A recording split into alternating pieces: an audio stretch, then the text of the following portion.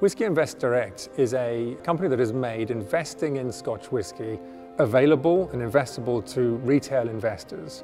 We have opened up this wonderful market, this new asset class to retail investors. My name is Rupert Patrick and I'm the CEO and the co-founder of Whisky Invest Direct. I've spent 25 years working in Scotch whisky, so I've had a, a broad experience across large and small companies. My name is Paul Tustain and I founded Bullion Vault 13 years ago and that's now one of the largest and most successful gold businesses in the world. Whisky is offering you a great mix of risk and reward. The returns look credible at 7 to 8% and it's very difficult to find those sorts of returns without taking substantial risk these days. That's been made possible because we've been able to reduce the cost of investing in wholesale whisky by about 70%.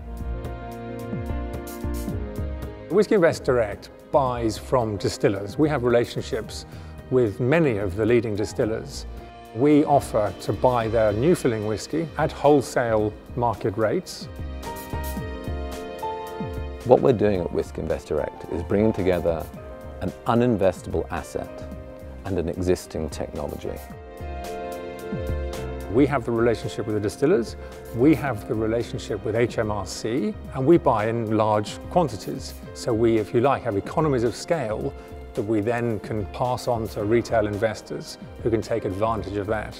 Then typically an investor can wait three, five, seven, nine years. Over the last 10 years, if you'd bought new whiskey and sold it at eight years old, you would have had a 7% real rate of return. So that's net of inflation. These opportunities are rare. It's a, it's a very simple offer. We are a rock solid organisation offering whisky at exceptional prices. Investing in whisky has historically been something a lot of people have done, but in a very small way. What we've done is make it much more tradable, we have invested in large quantities of maturing whisky in barrel and people can buy the litres that we buy and then they can trade them 24-7 on our website. If they wanted to, they could buy today and sell tomorrow. Best to make it a long-term investment. Think about a sort of three to five year plus. That's the way we've modernised investing in whisky. One of the remarkable things about whisky is the strong protection of the downside. This is because whisky, unlike most commodities, becomes better and more valuable as it gets older. It's a four and a half billion pound industry. It's one of the major export earners for the UK government. 93% of it is exported. Only 7% of the scotch that's produced in Scotland is actually drunk here in Britain.